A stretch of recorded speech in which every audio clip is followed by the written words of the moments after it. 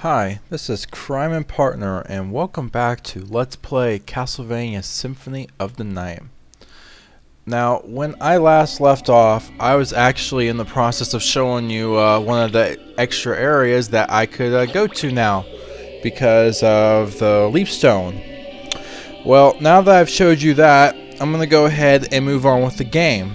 So I'm actually going to go to the very middle of the map, uh, the clock tower if you will, if you remember that's where we met Maria. Um, anyway, because it is a bit of a run, I'm going to go ahead and make the run off screen and I'll meet you there. And we're back. Um, as you can see, I actually made a point of grabbing the the stopwatch as well. And, and here's the reason why. This room's very interesting. If you use the stopwatch, you'll notice that that left statue moved out of the way. Now this is only during the duration of the stopwatch, but it gives me a chance to uh, you know, get a heart max up and get a couple of items. Now you may be thinking, oh my gosh, you just got that Alucard equipment that I was uh, beating people up with early in the game. Well, it's not exactly true. You may notice it said Alucart. Um, this armor has horrible stats in terms of defense and damage, but oddly enough, if you wear the whole set, you'll actually get a luck bonus, and as I mentioned, luck is really key just for getting rare items, so something to keep in mind.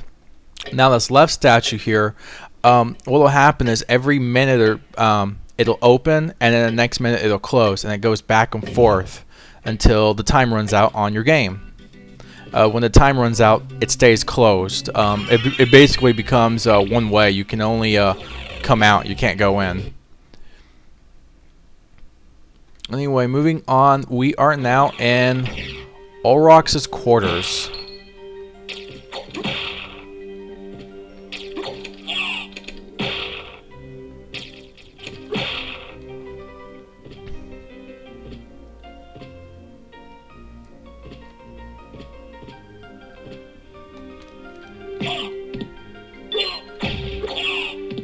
I just want to kill him once for uh, the bestiary. Well, try to. You may have noticed earlier at the librarian, every monster that you killed, he keeps a record of. So, I like to have it. Um, yeah, obviously breakable wall.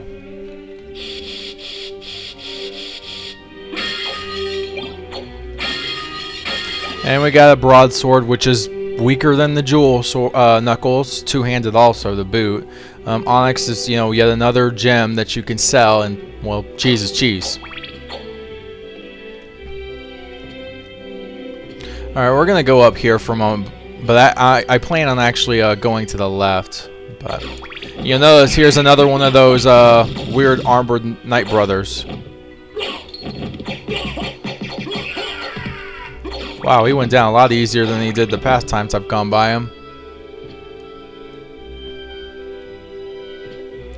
You'll notice here, there is no way right now for me to get up that big, huge passage. But, you know, maybe we can come back later. So, just something to keep in mind. Reason I came here, though, is there's a teleporter room. Uh, just by going in the room now, I've uh, opened up the ability to teleport to there later, which is going to be uh, very nice when I need to really get around the castle to help me save time.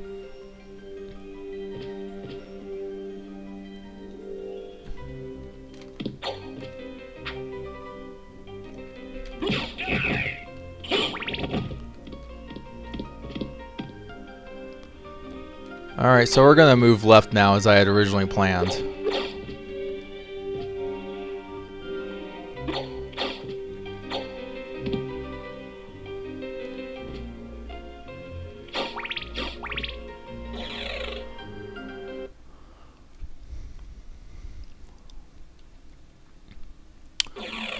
Enter the Colosseum.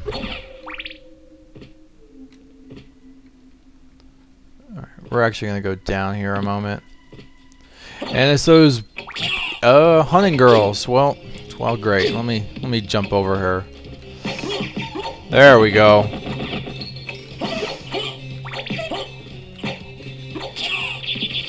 Well, I wasn't so lucky. There we go. Okay, that wasn't too bad.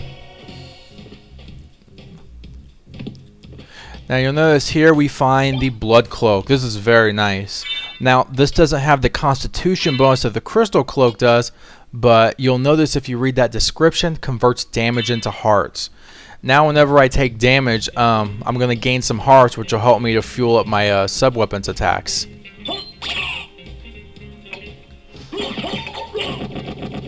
Alright, now while I'm at it, you see that big huge uh, golden skeleton? He's called a Paranthropus.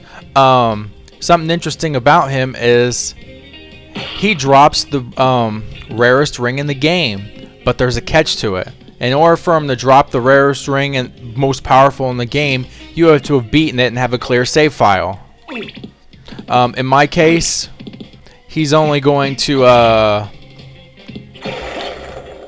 He's only going to drop Aquamarines instead. You have to beat it. Um, and he'll give you a ring called the Ring of Varda, which is a huge increase to all your stats, ridiculously overpowered.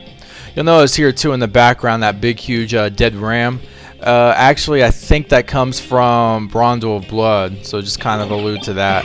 You notice in this room, uh, you have access to like pretty much every single uh, sub weapon. Now I want to go back to Holy Water.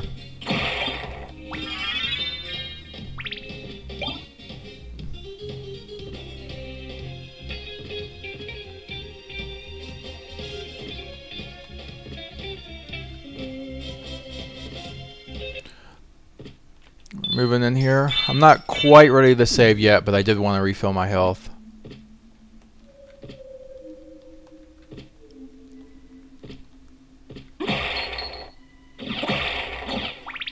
You'll notice here is another iron grate, but yet there's a relic on the other side.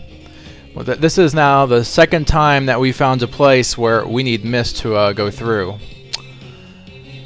You know, the first time it didn't matter so much because we used that whole little elevator trick uh, to get to the other side anyway.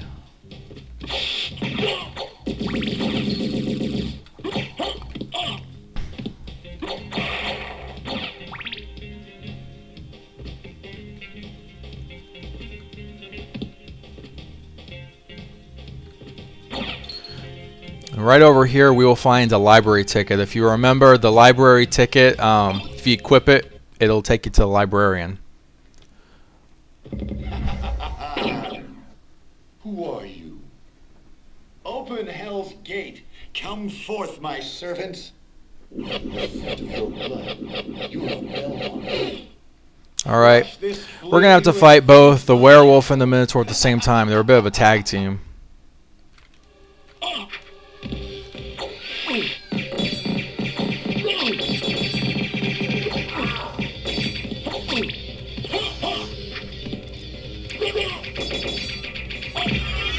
Alright, Minotaur down.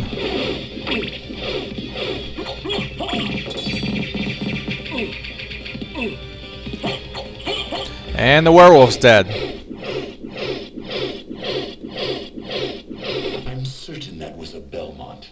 So he says he's the lord of this castle.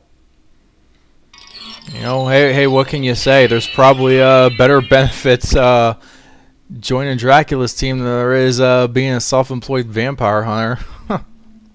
anyway, we hit the switch, and now we can use the elevator upward.